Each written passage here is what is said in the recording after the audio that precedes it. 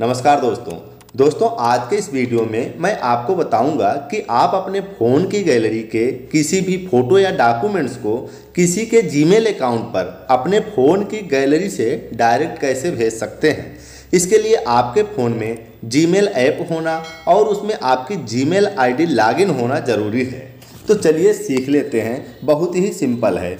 तो इसके लिए सबसे पहले आपको अपने मोबाइल में फ़ोटोज़ या गैलरी जो भी आपके मोबाइल में ऑप्शन है, उसे ओपन कर लीजिए। मेरे में ये देखिए फ़ोटोज़ है तो मैं इसे ओपन कर लेता हूँ।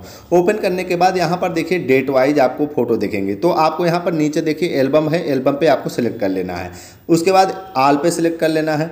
आल पर सिलेक्ट करने के बाद जितनी भी फ़ोटो आपके मोबाइल में है, सभी फ़ोटो यहाँ पर आ जाएँगी। तो आपको जिस भी फ़ोटो को भेजना है, उस फ़ोटो को आप सिलेक्ट कर लीजिए। यहाँ से चलिए मैं इस फ़ोटो को सिलेक्ट कर लेता हूँ। सिलेक्ट करने के बाद यहाँ पर नीचे देखिए आपको कई ऑप्शन देखने को मिल जाएँगे। तो यहाँ जो पहला ऑप्शन है सेंड का, इस पर आपको क्लिक कर लेना है।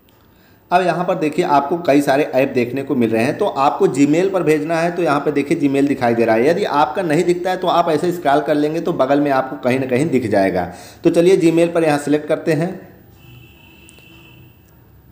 जीमेल पर सिलेक्ट करने के बाद कुछ इस तरह का इंटरफेस देखने को मिलेगा। यहाँ पर देखिए फ्राम फ्राम पर दी होगी आपकी जीमेल आईडी टू पर आपको जिस जीमेल आईडी पर भेजना है, उसे यहाँ पर टाइप कर देना है। चलिए मैं यहाँ टाइप कर देता हूँ।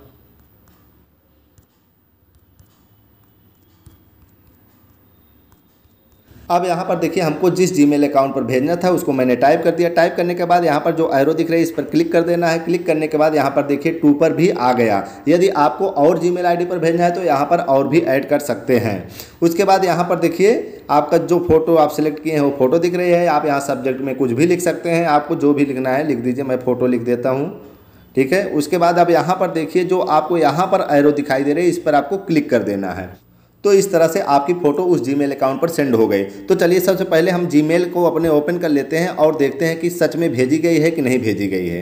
तो देखते हैं कहाँ जीमेल है हमारा। ओपन करता हूँ। ओपन करने के बाद यहाँ थ्री डॉट पे क्लिक करिए। थ्री डॉट पे क्लिक करने के बाद आपको सेंट वाले ऑप्शन पे देखना है। सेंट वाले ऑप्शन पे आने के बाद यहाँ पर देखिए, इसे ओपन करिए। देखिए, यहाँ पर भेजी जा चुकी है। तो दोस्तों, इस तरह से आप अपने गैलरी के फ़ोटो को डायरेक्ट किसी के भी जी पर भेज सकते हैं। वीडियो इन्फॉर्मेटिव लगा हो तो वीडियो को लाइक करें और चैनल को सब्सक्राइब करें।